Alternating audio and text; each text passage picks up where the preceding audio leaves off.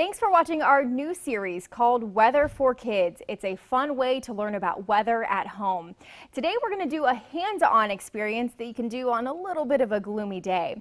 I'm Alex George in the Storm Team 27 Weather Center. Yesterday, Chief Meteorologist Paul Wetzl told you about the start of spring.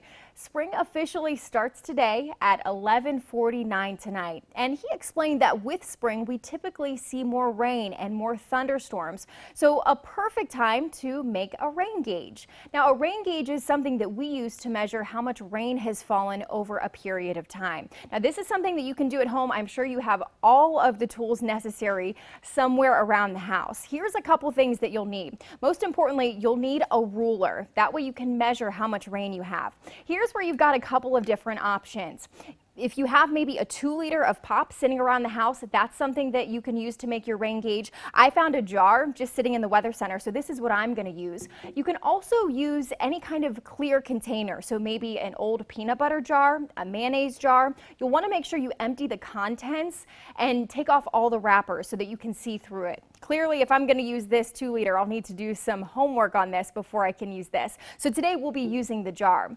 So what you'll want to do, make sure again you have all of the labels off, whatever you're going to use. You can then take your ruler, and this part is a little bit optional, a ruler and a permanent marker, and you'll be able to set the ruler right next to the jar, and you'll be able to mark a half an inch, an inch, an inch and a half, two, and that way your rain gauge will be labeled. Now again, that's just an option. The other thing you can do, just take your jar, you'll take it with you outside, make sure it's in an open area. You want it to be away from any trees, and you'll set it outside.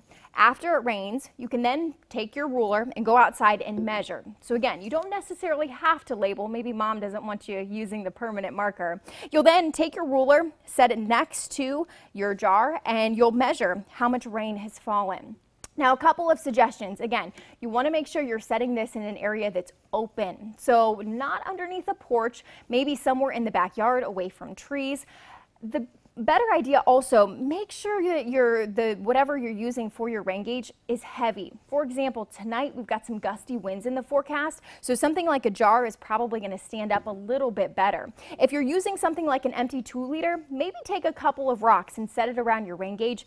That way there's less of a chance that it's going to tip over. So if you get busy today and make that rain gauge, you'll want to set it outside this afternoon before our next round of rain moves in. If you are doing any of these hands-on projects, enjoying these videos, let us know. Snap a picture, send it in to us at WKBN.com and click report it. We'd love to see all the weather activities you're staying busy with.